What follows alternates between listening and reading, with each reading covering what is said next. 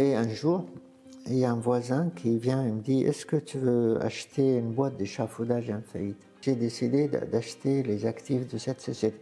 Sauf qu'elle était en faillite, la société. Donc, pour acheter une boîte en faillite, il faut passer par la procédure faillite, si vous voulez. Hein.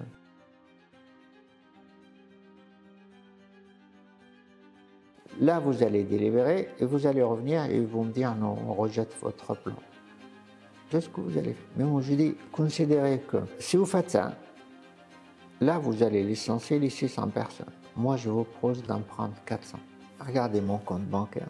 Je mets tout dans la boîte. Je mets tout.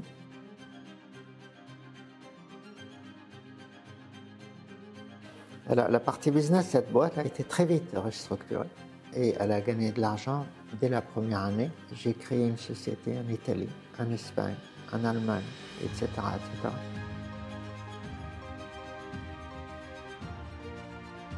C'est quoi Altrad aujourd'hui? Altrad, euh, on fabrique des centrales nucléaires, on fabrique des plateformes de pétrole et de gaz, on fabrique des sous-marins nucléaires, on fabrique de l'énergie renouvelable.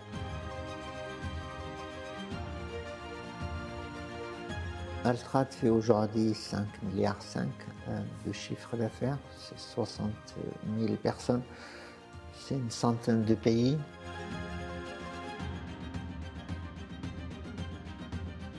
Vous avez un groupe qui a une croissance moyenne à deux chiffres sur 40 ans. C'est un groupe qui n'a jamais perdu de l'argent.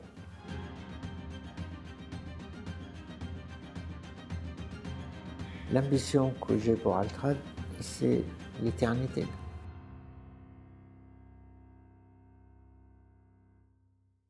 Bienvenue sur Binov TV dans One to One Business, l'émission où les parcours inspirent et où les expériences transforment. Aujourd'hui, comme vous le voyez, je ne suis pas dans le studio de Binov, Derrière moi, c'est la mer Méditerranée et je suis exactement à Palavas-les-Flots, non loin de Montpellier. Si je suis là, c'est parce que nous allons encore explorer le monde de l'entrepreneuriat sous toutes ses facettes. Et aujourd'hui, je vais à la rencontre d'une personnalité exceptionnelle qui inspire tant d'entrepreneurs à travers le monde. Monsieur Moed Altrad.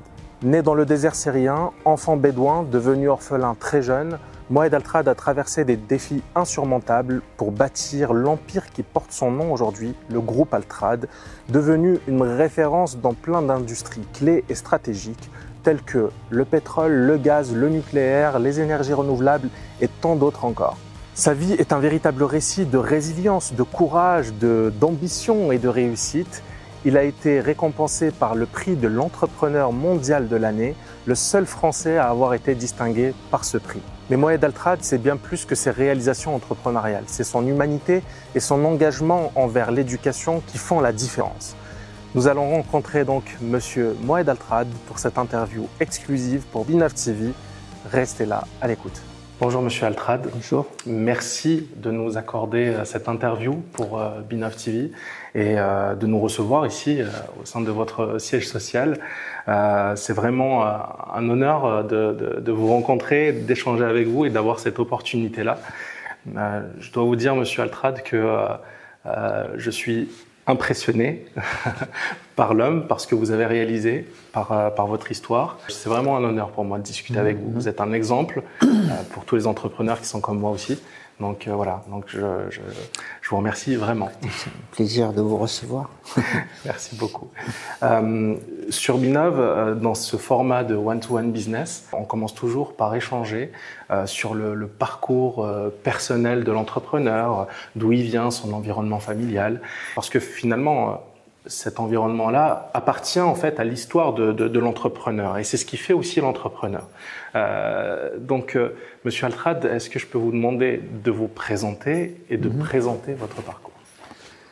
Vous parlez un peu de... le, le, mon parcours, c'est un parcours qui a été classé parmi les trois histoires mondiales les plus improbables, euh, miraculeuses si vous voulez. Quoi. Donc c'est vrai que si vous regardez le point de départ, aujourd'hui, euh, et vous vous placez au départ, vous dites c'est un homme ou c'est un, garçon, parce qu'au départ c'était ça, euh, qui était destiné à être berger par son contexte en fait euh, familial, pourra parler du contexte si vous voulez, mais je pense que si je vous raconte toute mon histoire, il nous faudra peut-être euh, des semaines pour euh, raconter tout ça.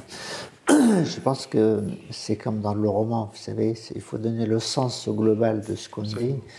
Et je pense que c'est ça qui intéresse les gens. Donc on part d'une situation familiale ou complètement dramatique finalement, née dans le désert syrien euh, mais mais c'est aussi dans le désert tout court, parce que les tribus, si vous voulez, et c'est là où je suis né, se déplacent en fait. Et euh, comme vous le savez, si vous prenez le contexte de désert qu'on appelle syrien, mais en fait il touche le désert d'Arabie saoudite, qui est un des plus grands déserts au monde. Et d'ailleurs, dans ce désert d'Arabie saoudite, il y a un coin où, si vous y arrivez, vous ne pouvez plus sortir ce qu'on appelle le désert de désert. Quoi. Oui. Parce que de toute façon, vous allez mourir de faim, de soif, les deux, d'un serpent qui va vous piquer. De toute façon, vous ne pouvez pas vous faire soigner. Donc, je suis né dans ce contexte avec euh, une mère qui a été violée par le chef de la tribu euh, deux fois. La première fois euh, pour donner naissance à, à mon frère, euh, que le père a bien voulu euh, euh, garder avec lui. Et, et la seconde fois, c'est un an, un an et demi après, il a recommencé pour que je sois avec vous aujourd'hui. C'est ça le contexte. Cette mère, c'est pas son âge, tout comme moi, on connaît pas mon âge, mais elle avait peut-être 12-13 ans. Quoi. Et et ça, c'est une tradition où le chef de la tribu, il a tous les droits. C'est une histoire ancestrale qui est celle des, Bédouins, et, ça existe jusqu'aujourd'hui. Et, euh, et c'est comme ça. Donc, en tant qu'enfant, euh, vous avez une mère qui est vite morte, si vous voulez, de jeune morte, euh, par chagrin, par maladie, un tas de choses et qui, qui part finalement, qui part. Après, euh, son premier enfant, donc mon frère, qui, qui, était maltraité, tué par le père, par maltraitant. Voilà, vous naissez comme ça, et puis vous trouvez avec une grand-mère qui, elle, euh, vous explique que euh, votre destin, c'est d'être berger, tout naturellement, parce que qu'est-ce qu'il y a dans le désert, qu'est-ce qu'on peut faire? On ne peut pas être mécanicien parce qu'il n'y a, pas de, garage, donc il n'y a pas de voiture, etc. Euh, on ne peut pas euh, faire comme ce que vous faites parce que de toute façon, il n'y a pas d'électricité, donc il n'y a pas d'appareil à photo, en tout cas, dans le désert. Donc voilà le contexte, si vous voulez. Donc elle avait raison de dire, si tu veux aller à l'école, mais ça sert à rien parce que tu vas être berger, et un berger, euh, il n'a pas besoin de lire et écrire. Par contre, il a besoin de compter, mais il a sais compter. Euh, ben, voilà le, contexte dans lequel. Et puis, vous rapprochez, comme je vous l'ai dit à l'instant, euh, ça avec la situation actuelle que, qu'on, évoquera, je suppose.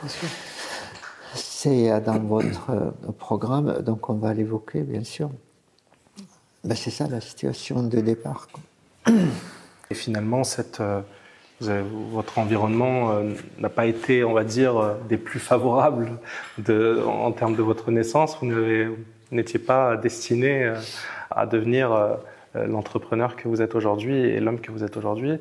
ce petit garçon bédouin, il a dû s'accrocher finalement à, beaucoup de choses après avoir vu tout ce qu'il y avait autour et, la vie qui, qui, qui, qui avait été donné au départ, j'ai vu que pour vous, l'école a été un moteur. Mhm. Et c'est finalement euh, ce qui vous a mené aussi en France. Est-ce que vous pourriez euh, nous raconter, alors pourquoi c'était d'abord un moteur, et, mhm. puis euh, comment vous êtes arrivé ici? Oui, mais si vous voulez, l'école, c'est quelque chose, mais en fait, l'école dans le chez les Bédouins. En fait, c'est l'école coranique, c'est une école improvisée où vous avez un, prof, appelez-le comme ça, qui vous fait réciter les versets du Coran. En fait, c'est ça, quoi. Il n'y avait pas d'école parce qu'on bouge tout le temps. Pour faire une école, il faut avoir une bâtisse, un endroit. Mais euh, au, gré des, déplacements, euh, parce que le bédouin, avec sa, sa, tribu, avec ses animaux, des chameaux, des chèvres, des moutons, etc., que sais-je encore, des ânes, on se déplace comme ça, et vous vous stabilisez au gré des pâturages. C'est lorsqu'il y, y, a un peu de pluie. Dans le désert, il n'y en a pas beaucoup. Toute la vie se résume. Je m'installe, euh, j'ai les tentes de la tribu qui s'installent le temps d'une semaine, deux semaines, trois semaines, quatre semaines, etc. Et après, vous allez ailleurs. Euh, donc ça bouge comme ça. Donc c'est ça l'école coranique. Après, euh, euh, le temps est passé. Le temps est passé. Il y a un certain moment, si vous voulez, le, la, grammaire, en fait, ne voulait même pas que j'aille à l'école coranique pour les raisons qu'on a expliquées tout à l'heure. Donc, elle est logique. Mais il y avait, dès le départ, si vous voulez, quelque chose à moi. Euh, mais je vous raconte ça. Mais, mais ce n'est pas une stratégie de départ. Lorsque vous êtes enfant de 3, 4, 5 ans, on raisonne pas vraiment, quoi. On fonctionne avec ses intuitions. Mais, mais il y avait euh, quelque chose qui, euh, qui me disait très fortement que ben, tout ça, c'est pas pour moi, quoi, en fait. Euh, pourquoi? Mais c'est sûrement par ce contexte familial que je vous expliquais. Mère morte, frère mort, et vous êtes seul au monde en quelque sorte. Mais encore une fois, c'est pas un raisonnement de l'époque, c'est un raisonnement a posteriori que je développe devant vous. Oui. Mais euh, euh, je dis, en fait, ça devait être ça, finalement. À un moment de, dans cette histoire-là, le père, que je voyais très peu, eh bien, il a, euh, il, a, il a un cousin éloigné qui ne pouvait pas avoir d'enfant. Mais lui, il était sédentarisé. Vous voyez, il avait une bâtisse euh, quelque part ce qu'on dit bâti, c'est pas grand-chose, c'est des murs avec de torchis, etc. En tout cas, il est stabilisé. Et là, par contre, il y a une école. Et le père, il, dit, il, dit à, à, ce que, cousin éloigné, euh, ben, tiens, tu peux avoir un enfant et tu le prends, c'est pour toi. En fait, c'est comme ça que c'est parti. Après, il y a beaucoup de séquences dans tout ça. Là, je vous fais euh, rapide parce que, euh, hélas, encore une fois, il, nous faut beaucoup de temps. Et, euh, voilà ce que s'est passé. Donc très vite, si vous voulez, le, je crois que je me suis distingué hein, dans, l'apprentissage euh, et, dans la conviction que finalement, intuitivement, quelle porte euh, de sortie j'ai Pas grand-chose. Il y a l'école. Le problème de l'école, si vous voulez, c'est que lorsque vous êtes un enfant d'une femme répudiée, ben c'est une honte, en gros. C'est une honte que vous portez avec vous. Et cette honte était difficile. Et du coup, cette honte et cette, ce regard que le, le, votre petit monde porte sur vous, vous n'êtes pas grand-chose, si vous voulez. Et donc, j'allais à l'école, finalement, mais à l'école, mais j'étais pas trop admis, si vous voulez. Donc, au départ, je rôdais autour de l'école. Euh, l'école avec ses murs pleins de trous, vous regardez les, les... ce que c'est une école, je ne sais pas ce que c'est une école à l'époque. Et vous, vous, voyez des gens où il y a un tableau, où il y a des crayons, et, et, et, ils font des signes. À l'époque, je l'appelais même pas écriture, on ne sait pas ce que c'est l'écriture. Voyez donc on est à ce niveau-là. Et, donc, il et un jour, le, professeur m'a remarqué et il m'a fait rentrer. Et, c'est comme ça que ça a commencé. Ça vous est arrivé. Hein. Et, donc ça, c'était vraiment l'école euh, donc coranique quand vous étiez dans, dans, votre village. Mais après, vous êtes euh, vous êtes arrivé finalement à, dépasser la, suite. Vous voulez dire la suite Il faut que, en effet, il faut que je vous raconte la suite. La suite, si vous voulez, c'est que euh, j'avais des bonnes notes, euh, mais, mais j'avais rien. Euh, le prof me donnait un crayon et me donnait des bouts de papier, etc. Je me débrouillais comme ça. Mais finalement, les choses se sont améliorées quoi, euh, euh, dans ma scolarité. Et euh, j'ai réussi quand même à passer d'une classe à une autre, etc., jusqu'au baccalauréat. Et je passe le baccalauréat dans une ville qui est devenue célèbre, hein, qui, qui s'appelle Raqqa. C'est la capitale de l'État islamique, qui n'existe plus, l'État islamique. Euh, en tout cas sous la forme euh, que quand il était capitale de l'État islamique. Donc, et j'arrive premier euh, dans toute la région. Je parle de région, mais en Syrie, vous avez l'équivalent de, ici on les appellerait départements, l'équivalent de 12 départements. Et et finalement, j'arrive au premier dans, la région ou le département, comme on ne sait plus. Et euh, le ministre de l'Éducation nationale décide cette année-là que vous allez, euh, vous allez avoir une bourse euh, d'études pour aller étudier à l'étranger. Et puis, c'est comme ça, en fait, que j'arrive à avoir une bourse, dans un premier temps, pour aller faire pilote de chasse à Kiev. L'actuel enfin, oui, en Ukraine. En Ukraine. Pourquoi Kiev? Parce que c'était l'Union soviétique. Et l'Union soviétique, euh, la règle était on spécialise chaque pays de l'Union soviétique pour une discipline donnée. Et, Kiev, c'était l'académie militaire. Donc de l'aviation, etc. Et, et finalement, j'ai une bourse j'ai un passeport et je devais partir à Kiev.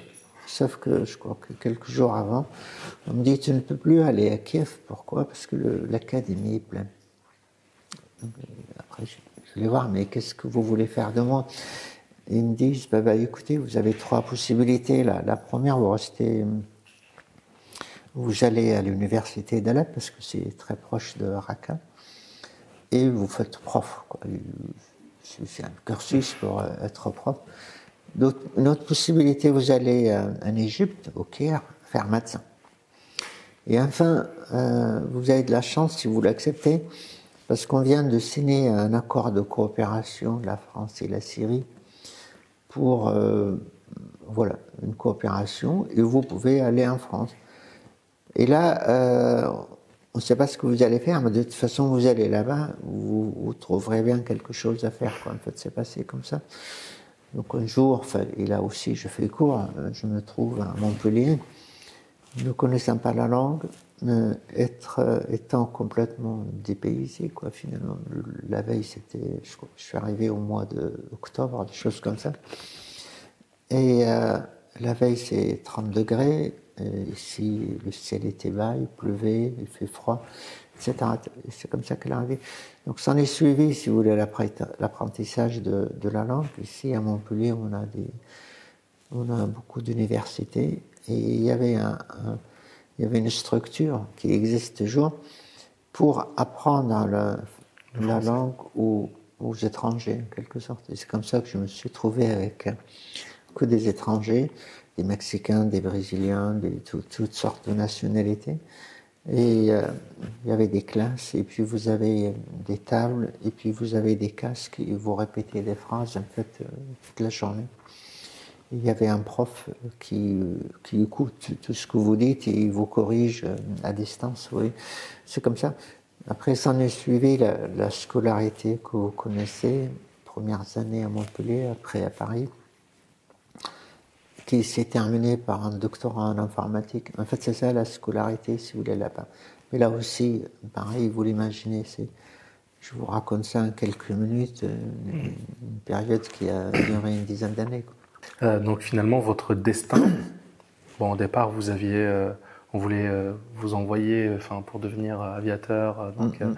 à, Kiev, mais votre destin vous a amené en France, au pays de la liberté, des droits de l'homme, finalement, c'est, euh, je pense que ça a été une chance et c'est grâce justement à l'école euh, que vous avez réussi finalement à mhm. sortir de, à sortir de ça. Donc, euh, j'ai lu que ça n'a pas été toujours très facile pour vous, surtout quand vous étiez arrivé, notamment bien sûr la langue, Mais comment vous avez pu réussir à, vous intégrer et à trouver votre place? Alors, est-ce que je suis intégré? Ça, c'est la question. On verra après. si vous voulez, le, effectivement, le, ben vous, du jour au lendemain, vous êtes coupé de tout, quoi. Ne serait-ce que la nourriture, le, climat, j'en ai parlé. Mais, mais, aussi, si vous voulez, par exemple, les convictions.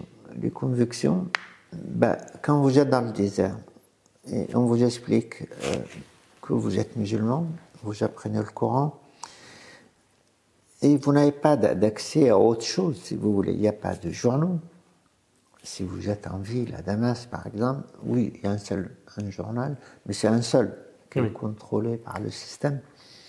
Vous avez une télévision, mais dans le désert, il n'y a rien de tout ça. Donc, vous naissez dans ce contexte et vous, vous croyez tout ce qu'on vous dit, parce que vous n'avez pas d'argument pour ne pas croire. Vous comprenez donc euh, Vous prenez le, euh, les convictions, par exemple. Les convictions, le, comme vous, avez fait une partie de votre scolarité dans une école coranique, que dit le Coran? Il vous dit que Dieu est unique.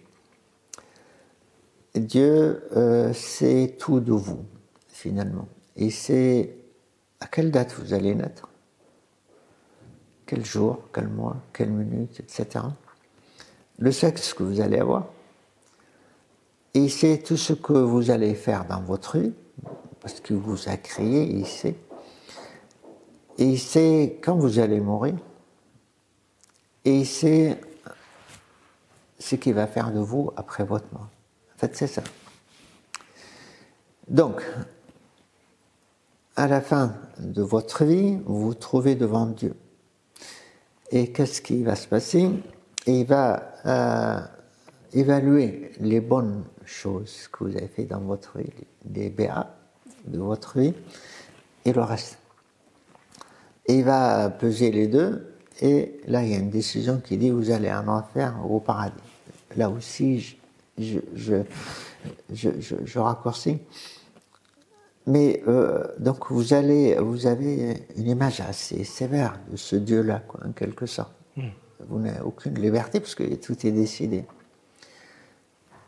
Mais il revient à l'esprit la question suivante. Mais puisqu'il sait ce que, ce que je vais faire de ma vie, parce que c'est lui qui l'a décidé,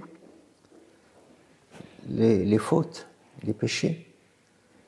Mais pourquoi il m'a conçu pour faire des péchés, après il m'envoie au, diable? Oui, c'est la question un peu existentielle. Mais c'est ça. Après, c'est.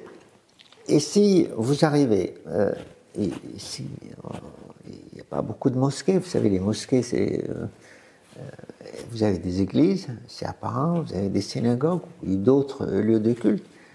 Mais, mais, des mosquées en France, il n'y en a pas beaucoup, quoi. De cette stature d'une église, là, vous allez à Montpellier, comme mosquée. Vous avez des pièces, un bâtiment euh, carré, et vous, mais c'est pas, c'est pas le, la mosquée que, telle qu'on l'imagine et telle qu'on la voit telle, qu'elle doit être, de toute façon, euh, parce que ça a été fait selon le, les, les, les, souhaits des, des, prophètes et des dieux, et de Dieu plutôt, il n'y en a qu'un. Et si on vous dit non, c'est pas ça. Euh, Dieu, est euh, Dieu est amour, Dieu est tolérance, Dieu, etc. Donc vous en avez deux là, et, et vous vous trouvez dans, dans tout ça. Donc il y, a, un facteur de déstabilisation majeure, c'est la conviction profonde, la croyance.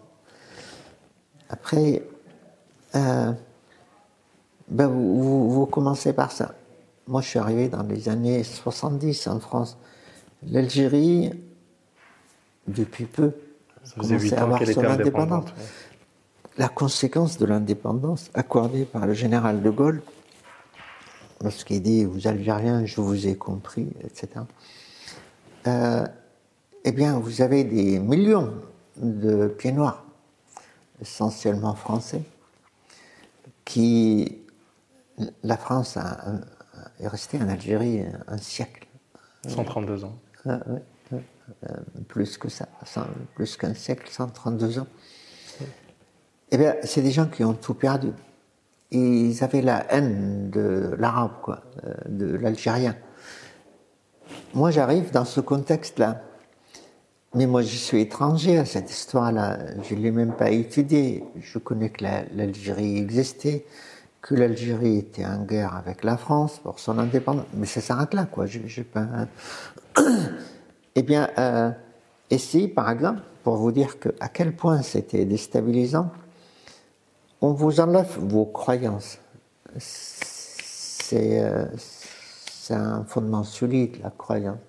Il faut qu'on croie quelque chose, sinon on ne peut pas exister. Est-ce qu'on vous l'enlève ou bien c'est vous-même, après, quand vous avez vu euh, ce qu'il y avait, c'est vous-même qui, finalement, où vous avez un doute oui. en termes de croyance?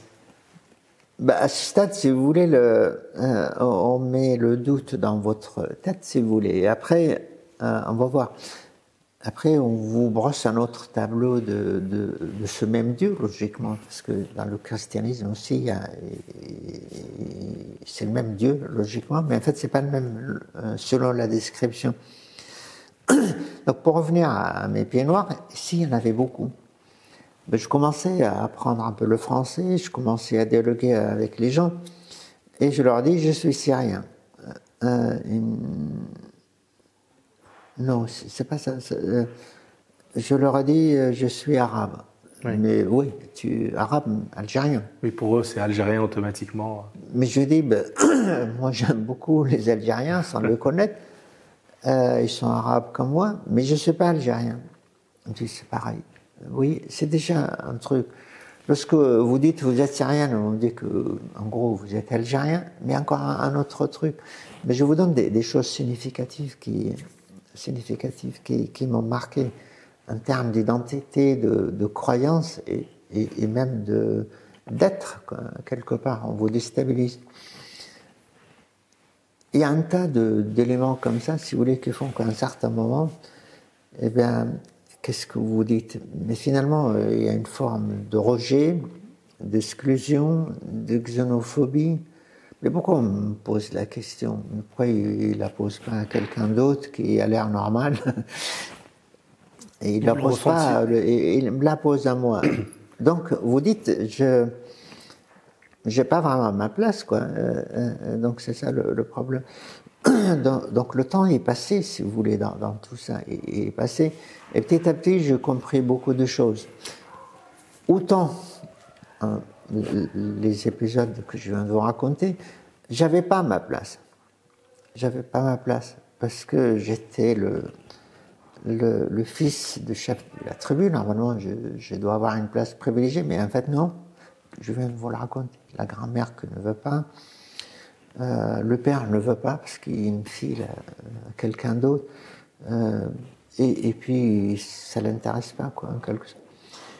Et si je. Alors, il faut savoir que le, euh, le bédouin en Syrie, c'est euh, l'équivalent en France de l'arabe de l'arabe en France, oui. bah, ok, d'accord, mais comment vivre avec tout ça, vous comprenez? Donc, il, fallait, euh, il fallait être solide. Je, je suis pas en train de dire que je suis solide pour résister à tout ça, mais, mais j'avais pas le choix. De toute façon, le gouvernement syrien m'a donné une bourse avec un, billet d'avion, il n'y a pas de possibilité de retour. Oui. Hmm. Donc, vous vous trouvez dans ce contexte. Parce qu'au départ, vous n'étiez pas très heureux finalement, à force de voir ça, de vivre tout ça. C'était quelque chose qui vous a marqué au point de vouloir euh, repartir. Mais oui, mais j'avais vraiment envie de partir d'ailleurs, puisqu'on me disait aussi, là je rigole, la posteriori, euh, tu es algérien J'ai dit, je, vais étudier à, l'université d'Alger, pourquoi pas Mais finalement, même ça, j'avais pas le sou. Alors, la bourse, il faut en parler, c'était 200 francs. À l'époque, il n'y avait pas de, il y avait que le franc comme monnaie, pas l'euro. Mais 200 francs, euh, c'est quoi? C'est pas grand chose, c'est une vingtaine d'euros euh, multiplié par 7 et demi. Je crois que le pour pour euh, convertir les, francs euh, au départ aux euros. Donc avec ça, euh, vous vous habillez, vous mangez, vous allez, vous payez votre chambre. Et donc c'est compliqué. Alors, résultat, ben, l'homme a cette capacité, c'est qu'il s'accroche à la vie.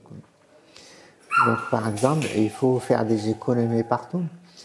Et euh, parmi les économies possibles, c'est la, nourriture. Donc, de trois repas, vous en faites un. Et en plus, c'est tous les jours c'est le même, quoi. des pommes de terre ou des pâtes.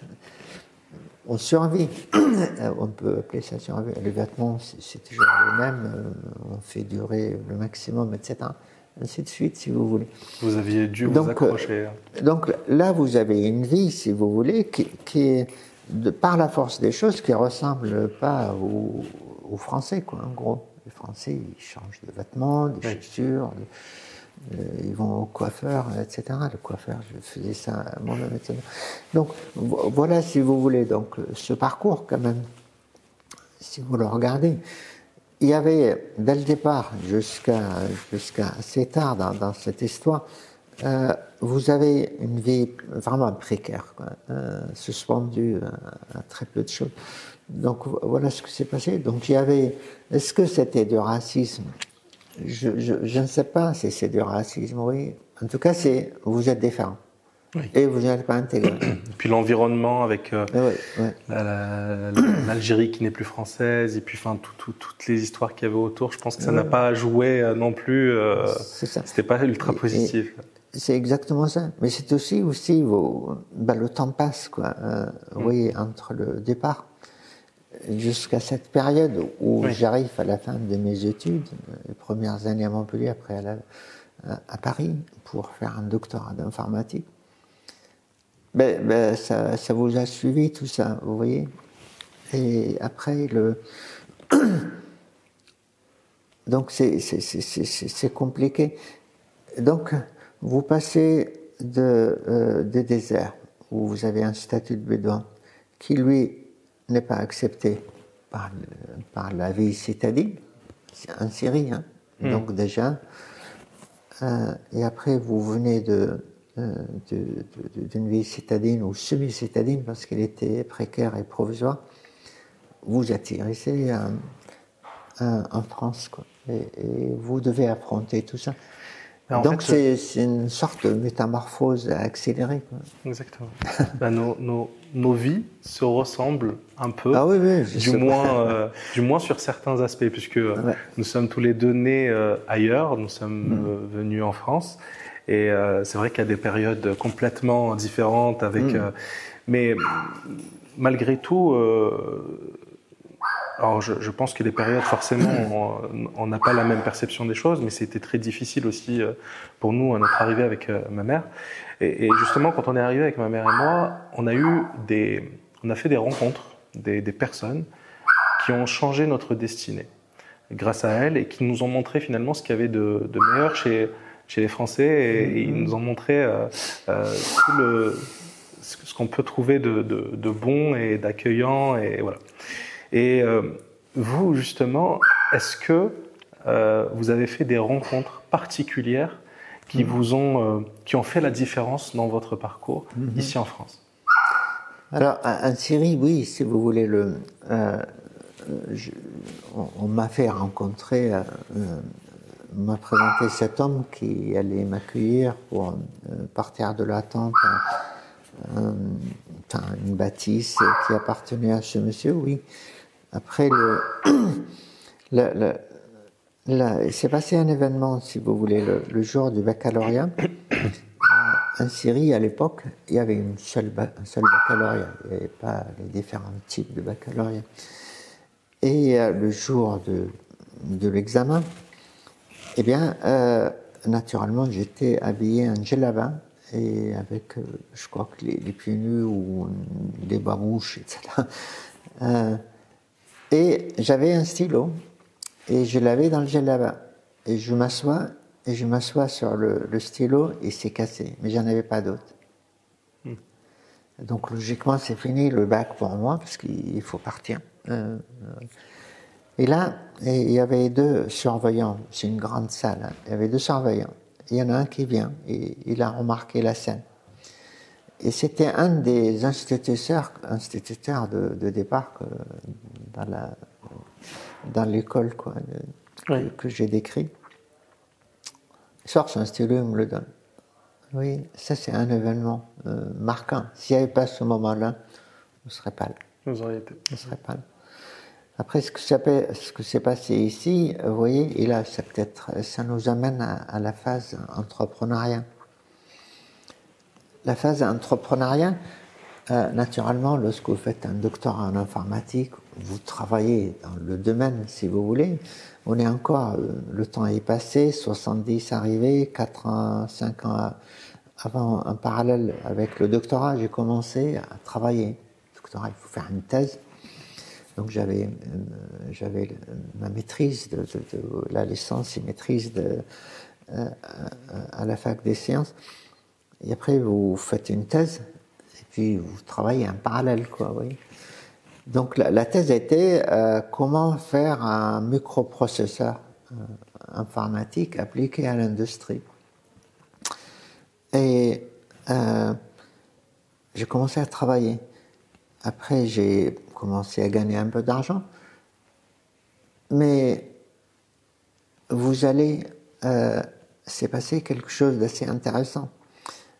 Euh, mais comme j'étais toujours étudiant avant de commencer la thèse, mais j'avais toujours besoin d'argent. Et euh, mais pour avoir un logement à Paris, je ne pouvais pas avoir de logement parce que j'ai pas d'argent. Donc j'ai découvert qu'il y avait une cité universitaire quoi, euh, qui s'appelle. Alors si vous allez à la porte d'Orléans euh, et vous rentrez dans Paris, vous avez toute une toute une toute une série de bâtiments. Ça s'appelle la cité universitaire internationale. L'Algérie avait sa maison, euh, la Tunisie avait sa maison, euh, je sais pas le, le Tchad a une maison, etc. tous les pays avaient une maison. Il n'y a pas de maison de Syrie. Pour la Syrie. Et, euh, et puis je euh, je, je, fais un dossier, et puis on me reçoit, et on me, on me explique, et là aussi je fais quoi? Vous n'avez pas de place, votre pays n'a pas de maison, donc vous ne pouvez pas. Mais par contre, eu vos conditions, etc., il y a la maison de Monaco et il y a une chambre pour vous. Donc je trouve dans la maison de Monaco. Et en face, il y avait la maison de, tunisienne, etc. Donc c'est comme ça, vous voyez. Sinon, je ne sais pas ce que je serais devenu. Quoi. Après, une fois euh, dans la vie active, finalement, avec un contrat de travail, euh, le premier job, c'était dans une société qui s'appelle la Compagnie Générale d'Électricité. Donc scientifique, euh, donc formation scientifique vous travaillez dans ce domaine. Et euh, la Compagnie Générale d'électricité, c'est l'ancêtre de euh, Nokia aujourd'hui. Oui. D'accord. Euh, c'est, la, boîte s'est développée pour travailler, faire des téléphones portables et autres. Donc, voilà. Après, il y avait un jour une annonce dans la presse et on cherche des ingénieurs pour aller travailler à Abu Dhabi mais des ingénieurs d'origine arabe. Et c'est là où je me trouve à, Abu Dhabi. Euh, euh, on est déjà en 1980. Et il s'agissait de, de, créer la première, la Société nationale de pétrole d'Abu Dhabi. Et je me trouve avec des Algériens, des Marocains, des Tunisiens, des Irakiens, des Syriens, des Palestiniens pour créer cette société. Et on l'a créé, je suis resté là-bas 4 ans, et on a créé l'ADNOC. ADNOC, c'est des initiales Abu Dhabi National Oil Company, ADNOC, qui est aujourd'hui une des plus grandes sociétés de pétrole au monde. Et euh, mon rôle était de la partie euh, télécommunication et informatique. Il y a d'autres qui faisaient du forage, d'autres, etc. Hmm. Mais je vais, après, au bout de 4 ans, parce que j'avais un contrat de 4 ans que je ne voulais pas prolonger, et euh, je rentre ici, enfin à Paris, quoi. À l'époque, euh, j'habitais à Paris. Et qu'est-ce que j'allais faire? Mais je ne savais pas quoi faire. Donc je crée une société. C'était la période, mais vous n'étiez pas né sûrement, la période du Minitel. Minitel, vous savez, le, qui, qui c'est l'ancêtre de, des ordinateurs portables ou pas. Et qui servait à rien d'ailleurs, il servait à, taper de texte et à l'envoyer, en fait, qui remplaçait le, le fax autrefois, vous voyez. Oui. Voilà. Eh bien, euh, j'ai décidé euh, de créer une société pour fabriquer un ordinateur portable de retour d'Abu Dhabi. Et je suis un des premiers, un des premiers créateurs d'ordinateurs portables. Il n'y en avait pas beaucoup, mais j'ai créé. ouais, moi, c'est vrai que quand j'entends ordinateur, etc., bon, je, je, vois bien sûr Apple, Steve Jobs ou bien. Ben, c'est l'ancêtre, l'ancêtre de, de, ça. Donc, euh, ben, il y en avait plusieurs en France, si vous voulez, un peu partout dans le monde. Oui. Mais euh, alors, moi, mon truc, c'était de, quoi il s'agissait. C'est quoi un ordinateur portable de l'époque? Vous allez voir que c'est pas si portable que ça. Eh bien, euh, pour faire un écran, pour afficher des caractères, comme sur votre, oui, là. eh bien, il vous faut un écran. Mais il n'y a pas d'écran. Et donc, on achetait des téléviseurs larges, profonds, lourds, etc et vous pouvez afficher. Mais pour afficher, il vous faut un clavier. Mais il n'y a pas de clavier que vous pouvez acheter dans le commerce. Donc vous, achetez une structure comme ça, et vous achetez des boutons, vous les câblez, vous tapez. Mais une fois que vous tapez, il faut que vous ayez une mémoire, si vous voulez. Vous transitez par une mémoire qui, qui, stocke les caractères que vous tapez, après ça s'affiche sur l'écran.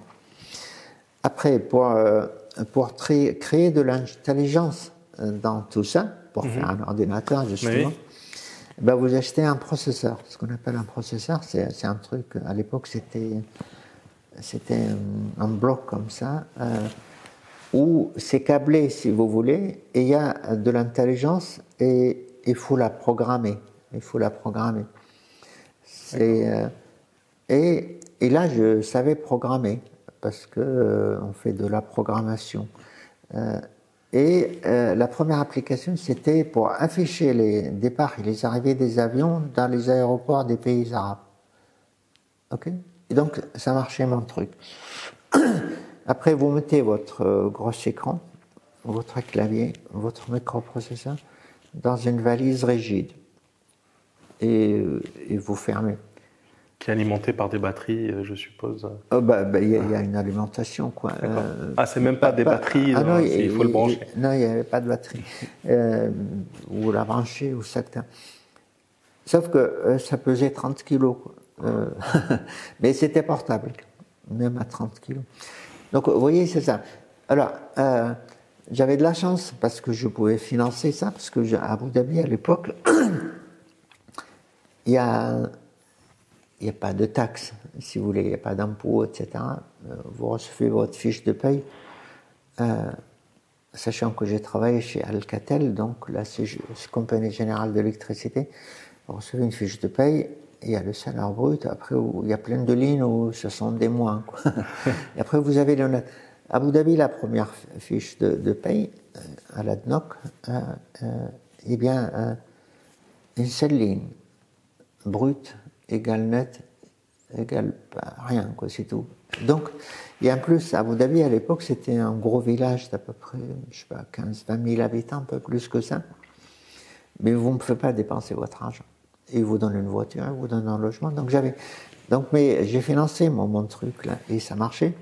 Sauf que ça a connu, ça a connu cette affaire-là de les ordinateurs, un, un développement considérable, vous voyez mais je ne pouvais pas financer le développement. Le, développement, vous aviez investi euh, vos fonds au départ, mais derrière. Mais pas la totalité, parce que j'ai gardé quand même un petit peu, parce que là j'étais père de famille, etc. Quoi. Ah, déjà à ce moment-là euh, Oui, oui. Euh, mon premier enfant. voilà. Donc, voilà. Donc je l'ai vendu. Très bien. Parce que je ne pouvais pas développer. Et là, j'ai recruté un peu plus d'argent. Vous voyez, j'ai récupéré l'argent que j'ai investi un peu plus. Et pourquoi je vous parle de ça? Parce que vous me posez la question est-ce que vous avez eu des rencontres? Je vous ai parlé de profs, je vous ai parlé de.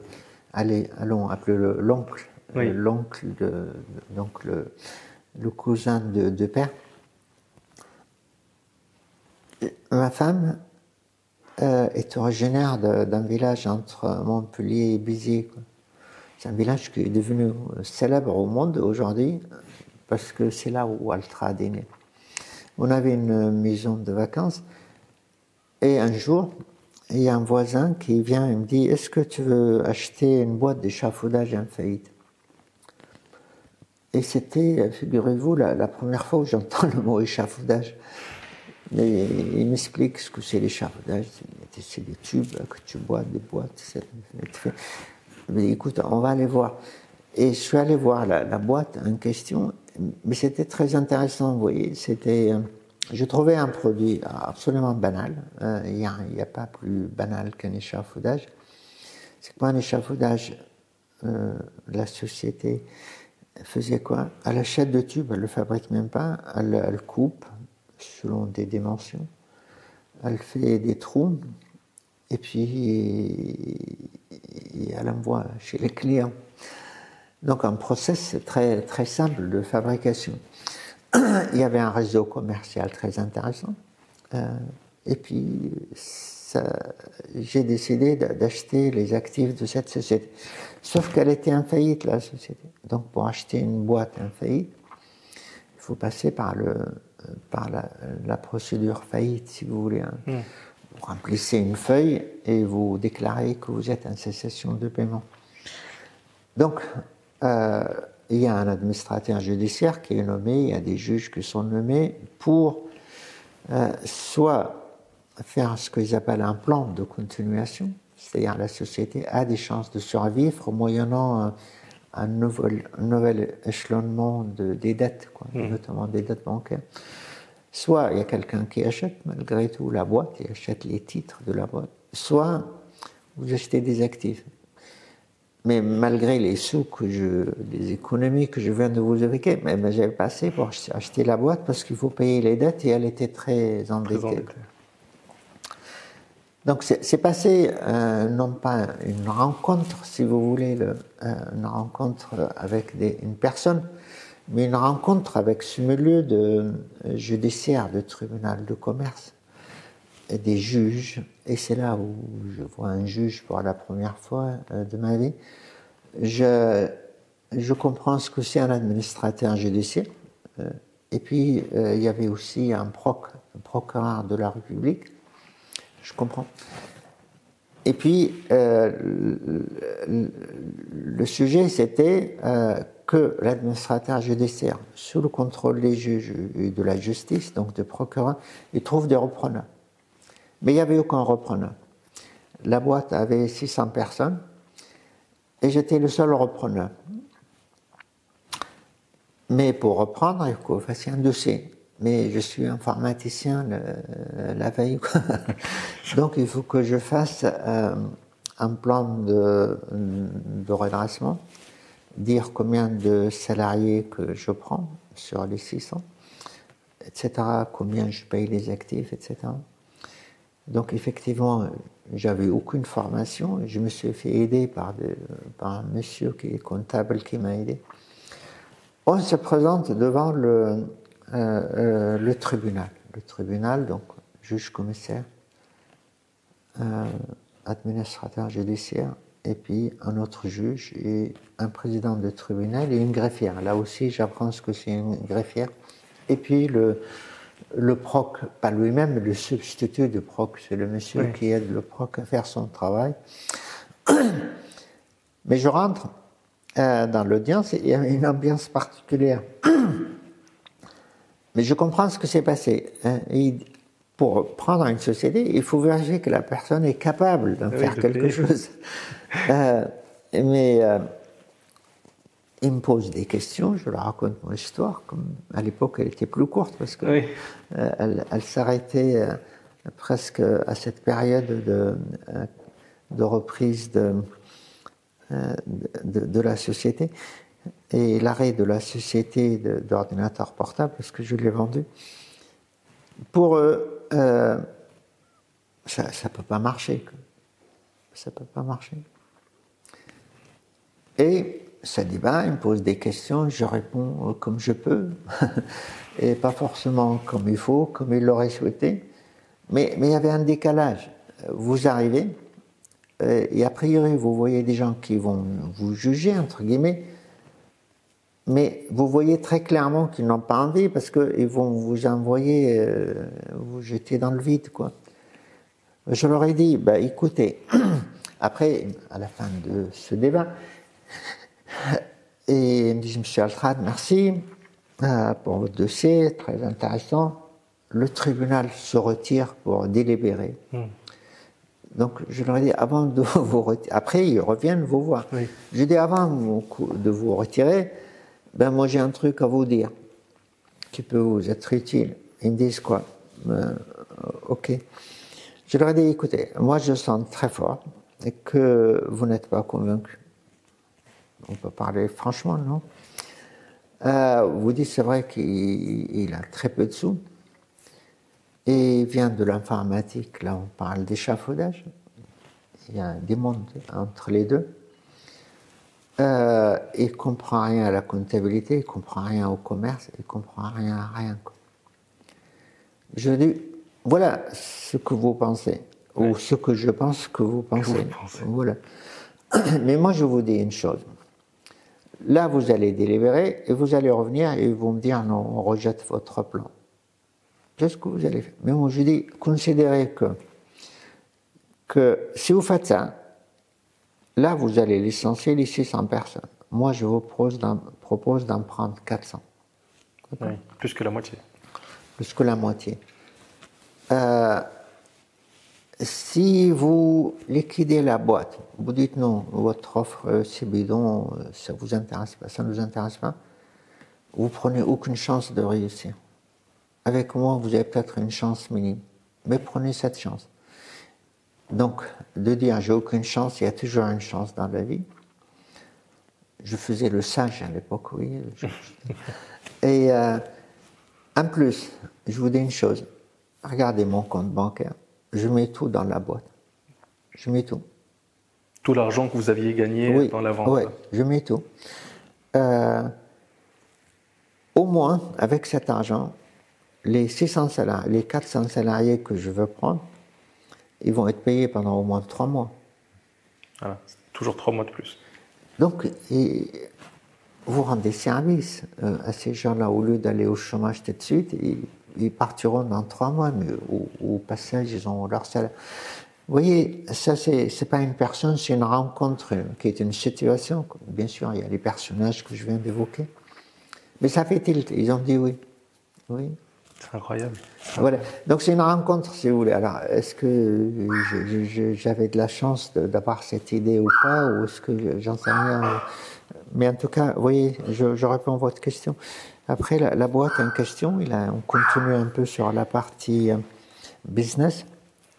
La partie personnelle, euh, je crois que j'avais un aperçu. Oui. Euh, alors, la partie business, cette boîte a été très vite restructurée et elle a gagné de l'argent dès la première année. à très vite, là, euh, dès la deuxième année, euh, il y a un peu, un peu de bénéfices. J'ai créé une société en Italie, en Espagne, en Allemagne, etc. etc. Pourquoi? Parce que ça revient à la question, si vous voulez, quelle est ma place finalement euh, dans cette société française? Sur le plan personnel, sur le regard que les autres, on n'est plus dans le business, et le regard que l'autre euh, porte sur vous, ben, euh, c'était presque le même.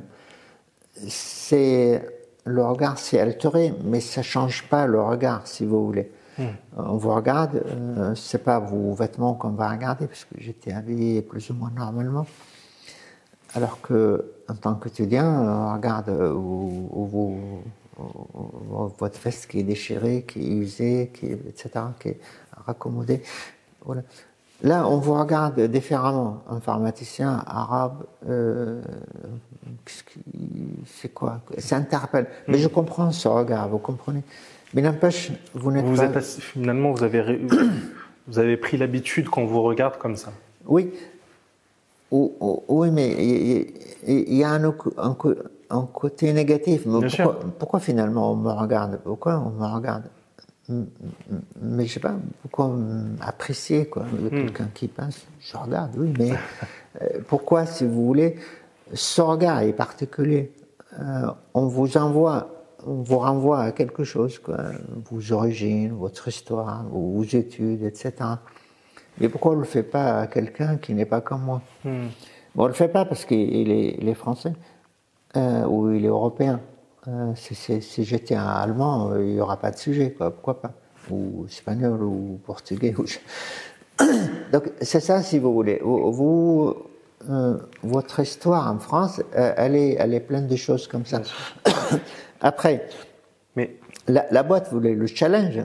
Ça a été euh, la presse a commencé à parler de nous. La presse ne pariait pas un sou sur la, euh, sur la réussite, mais finalement c'est réussi. Et après, c'est passé de l'échafaudage à, quelque chose. On va parler de c'est quoi Altrad aujourd'hui. Altrad, euh, on fabrique des centrales nucléaires, on fabrique des plateformes de pétrole et de gaz, on fabrique des sous-marins nucléaires on fabrique de, l'énergie renouvelable, éolienne, etc. Vous n'êtes plus que dans la partie BTP du départ, d'échafaudage. La, partie BTP. Vous avez euh, complètement. Euh, Altrad fait aujourd'hui 5 milliards 5 euh, de chiffre d'affaires. C'est 60 000 personnes. C'est une centaine de pays. le chiffre, le, la partie française de chiffre d'affaires, c'est même pas le 25%. C'est tout est ailleurs. Donc c'est un groupe mondial. et, du coup, le, nom, si vous voulez mon nom, à la limite, ce n'est plus mon nom, c'est une marque commerciale mondiale connue reconnue. Après, euh, ben voilà, si vous voulez, le point d'arrivée, rapprochez-le au point de départ. Euh, il y a une grosse descente. Euh, et ça, ça donne le vertige je comprends. Mais après, si vous voulez, on n'a pas le temps, mais, je pense à un certain moment, là, je, je, vous raconte mon CV. Oui. Mais, mais je pense qu'il faut regarder, euh, vous savez, il y a deux expressions en France, euh, qui je suis et quel je suis. Quel je suis, c'est ce que je suis en train de vous dire, le CV en quelque sorte.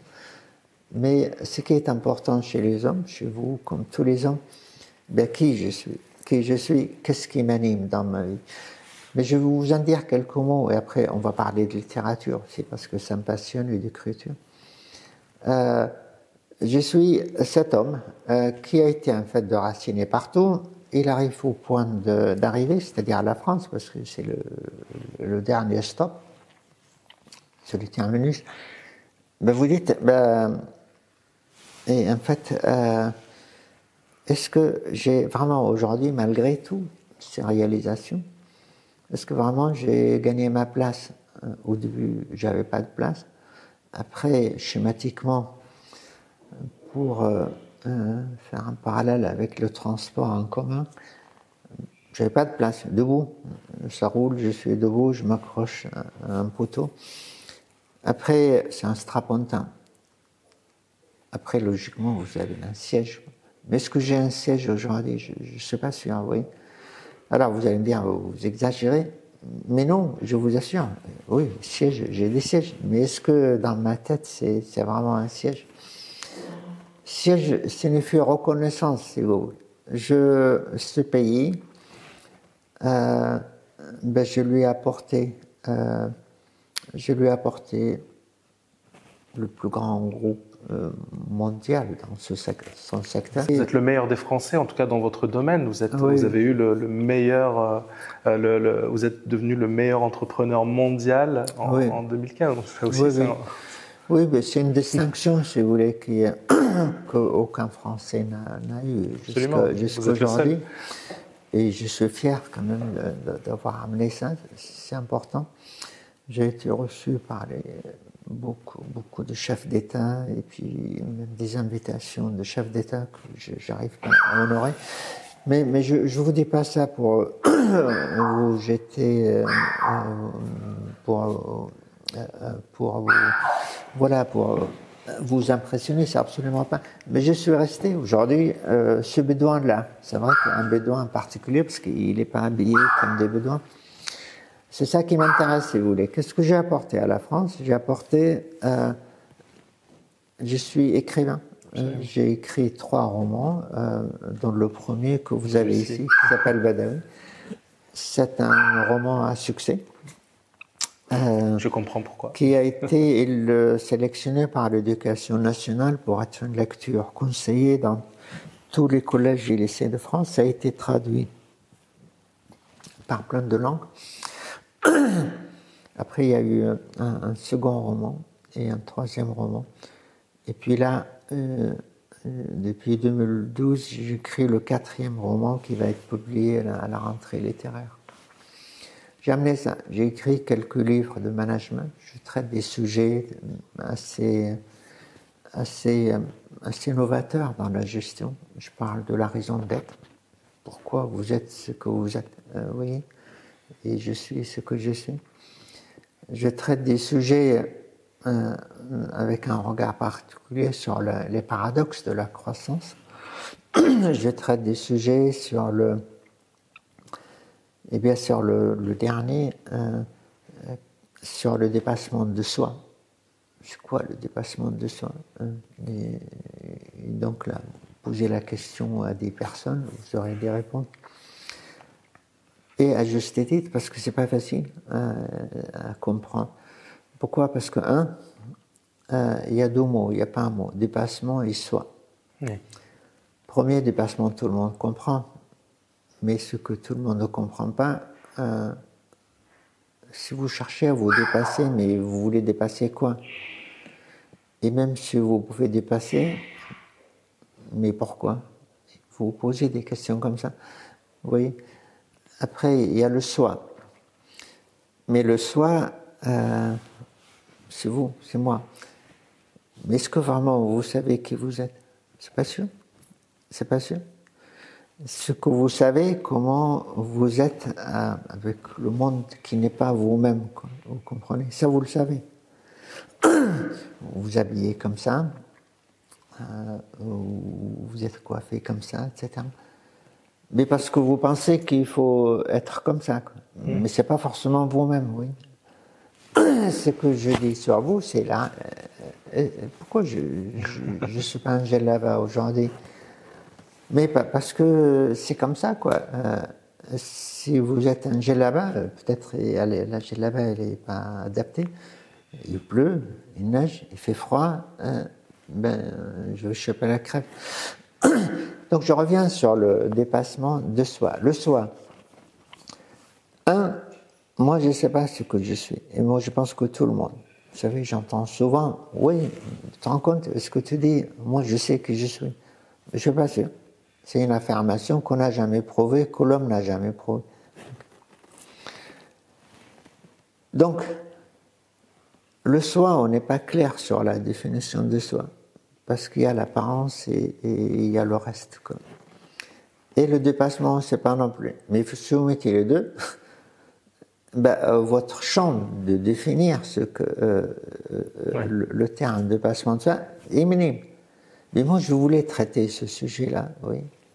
Et alors, ça vous amène à des, à, des notions qui sont vraiment terribles pour l'homme. Ça vous montre l'ignorance de l'homme. Ah moi j'ai fait beaucoup de recherches. Euh, l'homme, jusqu'à 1941, a cru qu'il est une copie de ses parents. Oui, puisqu'on forcément.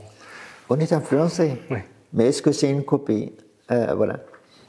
Donc, euh, et on dit, bah, vous êtes comme ça parce que vos parents sont comme ça, euh, c'est normal, donc euh, c'est pas la peine, vous êtes le fils d'eux, c'est fini, quoi. Et vous ressemblez à votre père, à votre maman, en fait, c'est votre grand-mère. À 1900, et donc, de toute façon, vous allez être influencé dans votre cerveau parce que, par l'éducation qui est reçue, et que vous ne pouvez pas sortir de là. Voilà. Donc, en 1941, l'homme a inventé l'ADN. L'ADN, c'est une matrice qui, justement, décrit ce qu'on dit, quoi, si vous voulez. Mais cette matrice, c'est votre cerveau. Et, euh, et, on a découvert, si vous voulez, que dans les recherches parallèles médicales, que le cerveau, ce sont des cellules. Et vous avez 100 milliards de cellules dans votre cerveau. Mais euh, le cerveau, il n'est pas homogène. Vous avez, par exemple, la partie arrière, c'est pas moi qui parle, c'est le médecin, et c'est la mémoire. Vous voyez, c'est votre mémoire. Et c'est comme ça, c'est les gens qui ont de l'Alzheimer, c'est que ça, ça marche plus. L'Alzheimer, c'est quoi? C'est des, on n'a plus de mémoire, quoi, en quelque sorte. Pourquoi on n'a pas de mémoire? Parce que les cellules sont connectées, si vous voulez, par des tuyaux. Et, s'il y a des tuyaux qui sont bouchés, ben vous vous rappelez, il n'y a pas de connexion, donc vous n'avez plus accès à l'information. Donc c'est comme ça que vous allez vagabonder. C'est ça en fait l'Alzheimer. Après, vous avez cette partie-là. C'est la partie, si vous voulez, euh, c'est la vision. C'est ça qui vous permet de vous projeter. Donc on a inventé ça. Et du coup, si vous voulez, euh, si euh, ça signifie que vous êtes capable de faire, d'abord, euh, en 1941, on a découvert que votre matrice, si vous voulez, votre ADN n'est pas tout à fait le même que vos parents. Deuxièmement, avec ce que je vous dis, vous avez des cellules, vous pouvez les travailler par la connaissance, par l'apprentissage, par l'observation, par tout ce que vous pouvez, par la rencontre avec des gens, etc. Donc on peut faire beaucoup de choses, oui. Voilà, je, là je vous parle de l'écriture en termes d'économie. Chaque année, j'écris un livre d'économie, mais un peu décalé, si vous voulez. pour, euh, avec votre vision, vous, ce que vous avez aussi. Oui, euh, parce que euh, vous pouvez faire tous les produits qu'Altrad fait. un autre qui va faire, je ne sais pas, des canapés, un troisième des luminaires. Mais à la base, c'est l'homme. C'est votre matière première. Il n'y a pas autre chose. Et si vous arrivez à, stimuler cet homme-là par ce que je vous dis, et bien d'autres, ce que je vous dis, c'est une minime hein, à l'échelle de, la connaissance de, ce que eh bien, vous allez être le meilleur. Sauf, il faut que vous soyez résilient et que vous acceptez que ça va se produire pendant deux jours, pendant deux années. Si vous voulez faire des grandes réalisations, il faut beaucoup de choses. Absolument. Et les hommes qui font ça, c'est pas forcément des génies plus que d'autres. Hein. par contre, ils ne sont pas plus idiots que les autres non plus. et ils arrivent à le faire. Voilà. Et, justement, monsieur, monsieur Altrad, vous, vous êtes euh, aujourd'hui à la tête euh, d'un empire, d'une entreprise euh, qui est une multinationale. et, et dans, votre, dans notre échange, là, vous, vous m'avez dit que tout de suite vous avez développé euh, des entreprises à l'international et donc euh, très vite votre vision vous apportez euh, vous apportez sur ça.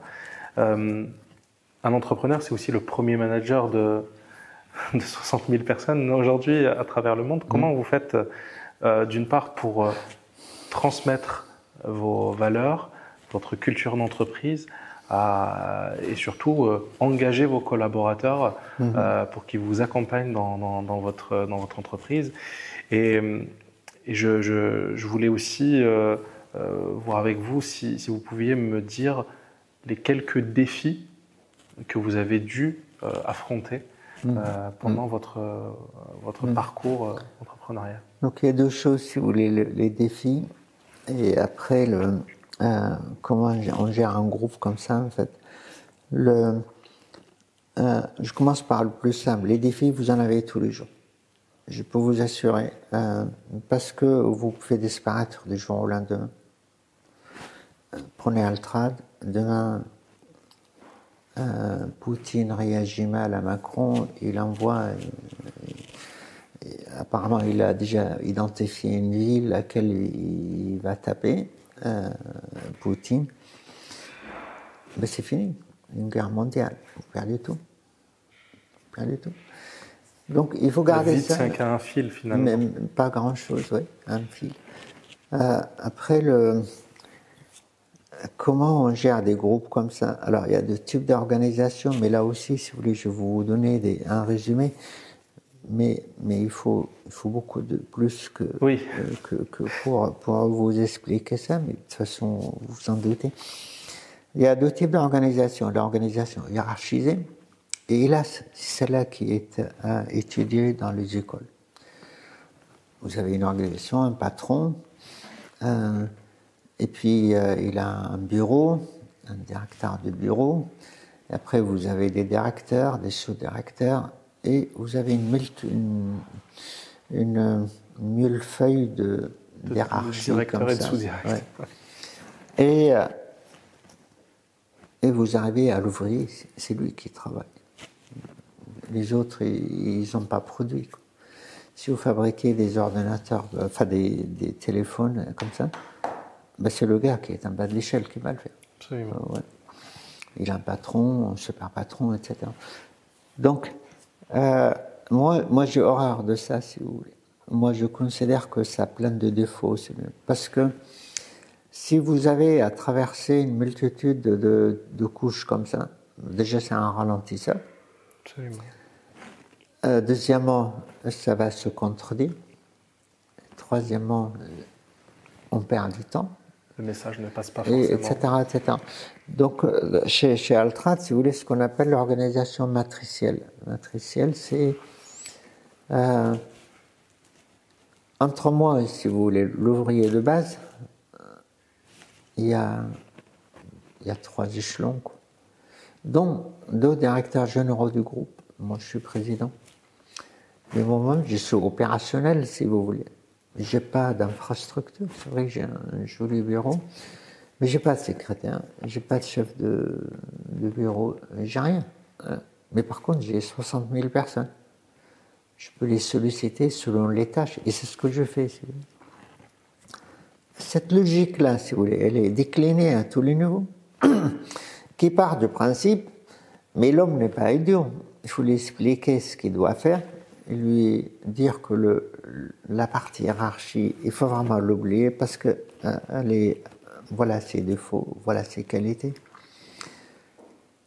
Dans l'armée, je, comprends qu'on soit hiérarchisé, mais pas dans une boîte euh, comme Altrad ou n'importe laquelle, si vous voulez. C'est pas la guerre.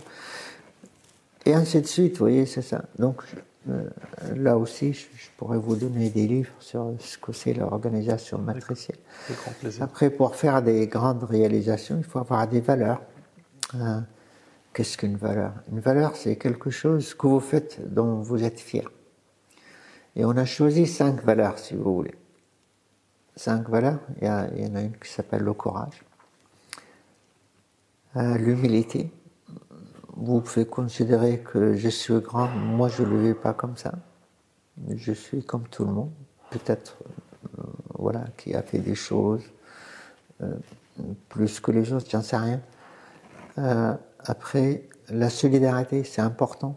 Ce que, qu'est-ce que ça signifie la solidarité? C'est que pour vivre mieux sur Terre, il faut que il faut qu'on cède, si vous Soit solidaires les uns les autres. Pourquoi? Parce que vous avez besoin de, moi et j'ai besoin de vous. voilà, la solidarité. Après, vous avez le respect. Le respect, ça, je ne vous l'explique pas. L'intérêt de ces cinq valeurs, c'est que, c'est que chacune fonctionne seule, mais elle fonctionne en synergie. Vous pouvez être ample, solidaire, respectueux courageux. Et ça, si vous voulez, le, c'est pas des mots, c'est des livres qu'on a trouvés, qu'on a écrits, pardon. Tous ces livres, il y a un livre qui s'appelle euh, sur les valeurs, qui s'appelle l'échelle des valeurs. Euh, ça a été remis un jour euh, et on l'a changé de titre. Ça s'appelle Les chemins du possible. donc voilà ce que ce que je fais, si vous voulez. Donc c'est ça. C'est ça le, groupe Altrad. Eh, merci, monsieur, monsieur Altrad. Nous, alors, nous arrivons euh, vraiment euh, à, la fin. C'est vrai que vous avez accordé un temps et, j'avais encore une question et une dernière après. Celle-ci, c'est que nous faisons un point d'honneur sur Binov de parler des réalités de l'entrepreneuriat, mais vraiment sous toutes ses facettes. Et l'échec, c'est quelque chose qui fait partie aussi de l'entrepreneuriat. Euh, et justement, vous, Monsieur Altrad, vous avez connu beaucoup de succès. Est-ce qu'il y a eu, euh, à un moment donné, un échec que vous avez toujours et qui vous a peut-être construit après. Mm-hmm. je veux dire, dans le monde du business et de l'entrepreneuriat. D'abord, vous avez raison de, dire l'échec, ça fait partie de, la vie finalement, et ça fait partie de, de, l'homme finalement. Mais moi, je dis, euh, tant, je dis mieux, si vous voulez réussir, il faut accepter l'échec avant qu'il se produise. Euh, voilà. Alors, qu'est-ce que ça veut dire ce que je dis? Mais là, encore une fois, vous me laissez pas beaucoup de temps et puis de toute façon, vous n'avez pas beaucoup de temps non plus. Donc, il faut accepter l'échec lorsque ça se produit. Il faut l'accepter et rebondir. Parce que dans toute chose négative, il y a du positif dans la vie. Donc, l'échec, on peut en tirer des enseignements. Pourquoi j'ai échoué? J'ai échoué parce que le secteur que j'ai choisi, le textile, il ne faut, surtout pas acheter le textile aujourd'hui. Des milliards de, concurrents. Après, ça peut être euh, mal perçu le type de clientèle, le réseau commercial ou le support marketing ou la communication, j'en sais rien. Donc il faut. Mais pour répondre spécifiquement à ce que vous me dites, mais, mais je vous le dis avec beaucoup de. Je, ne me suis jamais trompé.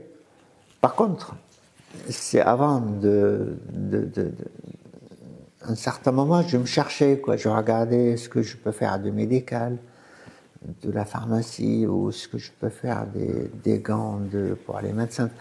J'ai cherché, je me suis cherché, quoi. Oui. Et, euh, et, et, ça, c'est un échec, oui, parce que parce que j'ai pas pu trouver le, ce que je veux euh, du premier coup, parce que peut-être c'est pas possible, tout simplement, je l'ai pas trouvé. Donc je vous le dis encore avec beaucoup d'humilité, il n'y a pas d'échec, non. Altrad, l'histoire Altrad, c'est une histoire, je pense, unique au monde. Vous avez un groupe qui a une croissance moyenne à deux chiffres sur 40 ans. Parce que cette année, c'est notre. C'est un groupe qui n'a jamais perdu de l'argent. Voilà. Et puis il y en a d'autres, ce qu'on appelle les, euh, les KPI. euh, ben, ben, il n'y a pas mais, mais ça ne veut rien dire. Demain, euh, tout peut s'écrouler comme on l'a évoqué.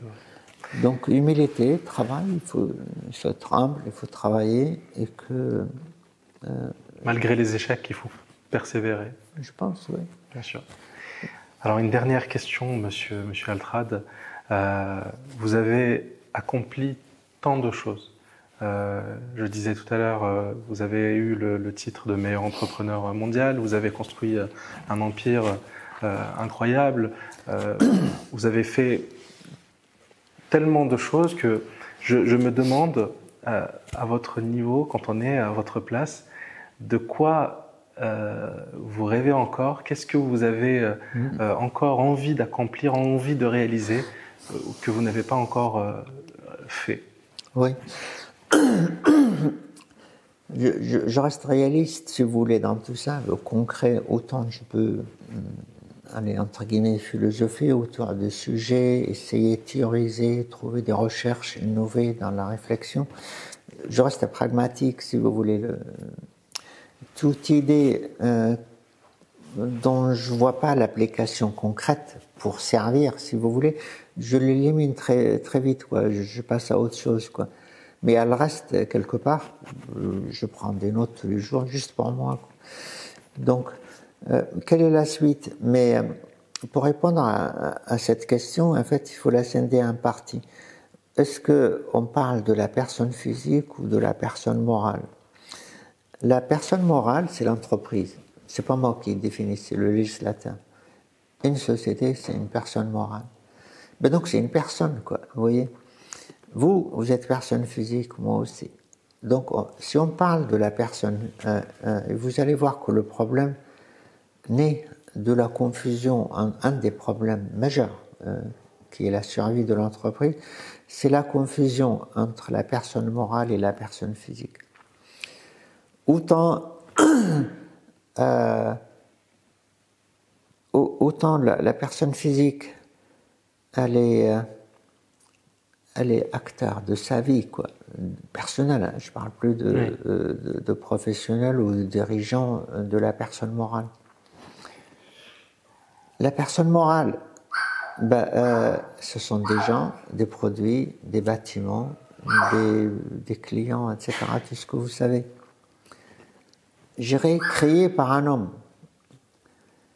Et l'erreur magistrale, si vous voulez, de dire le destin de la personne morale est lié à la au destin de la personne physique. Il n'y a aucune raison.